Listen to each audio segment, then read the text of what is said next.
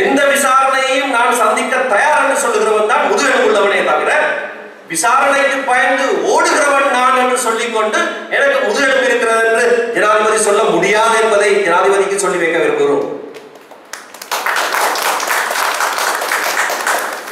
அந்த தீர்மானத்திலே சொல்லப்பட்ட அத்தனை வாசகங்களும் முழுமையாக நிறைவேற்றுவதற்கு நாங்கள் செயலாற்றுவோம்.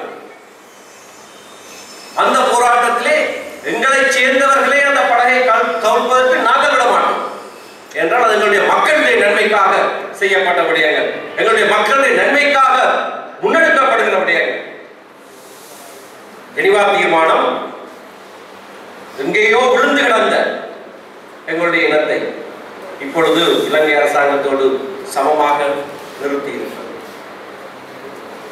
இதிலே இருந்து யார் பொறுப்போடு முன்னேறுகிறார்கள் என்பதை அனைவரும் அவதானித்துக் கொண்டிருக்கிறார் இலங்கை அரசாங்கம் பொறுப்போடு செயல்படுகிறதா இல்லை. பதினெட்டு மாதம் இருந்தும் ஏதோ ஒன்று ரெண்டரை தொட்டுவிட்டு இப்பொழுது இலங்கை அரசாங்கம் கொஞ்சம் கீழே போயிருக்கிறது அரசியலமைப்பு உருவாக்கத்திலே தமிழ் தேசிய கூட்டமைப்பு உருப்படியாக செயல்படுகிறதா ஆம்.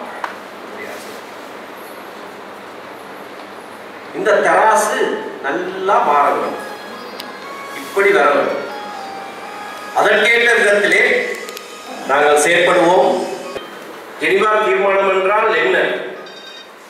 இதற்கும் இலங்கையிலே வாழுகிற தமிழ் மக்களுடைய முடிவுக்கும் என்ன சம்பந்தம்? என்கின்ற கேள்விகளை சில அடிப்படை கேள்விகளை நாங்கள் ஆரம்பத்திலே கேட்டு பார்க்க வேண்டும். ஐக்கிய நாடுகள் அமைப்பு இரண்டாம் உலக மகா யுத்தத்துக்கு பின்னர் ஆரம்பமானது என்று எங்கள் அனைவருக்கும் தெரியும்? ஆயிரத்தி தொள்ளாயிரத்தி ஐம்பதாம் ஆண்டு ஐம்பதாம் ஆண்டிலே தான் அதனுடைய அடிப்படை பிரகடனம் ஏற்றுக்கொள்ளப்பட்டது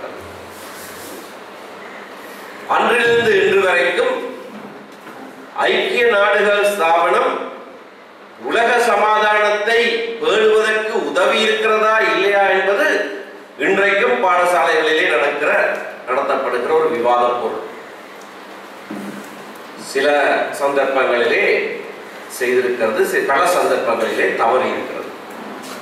ஆனால் ஒரு உலக மகா யுத்தம் இன்னொரு உலக மகா யுத்தம் ஏற்படவில்லை. ஏற்பட்டிருந்தால் உலகமே மிஞ்சி இருக்காது எங்களுக்கு தெரியும்.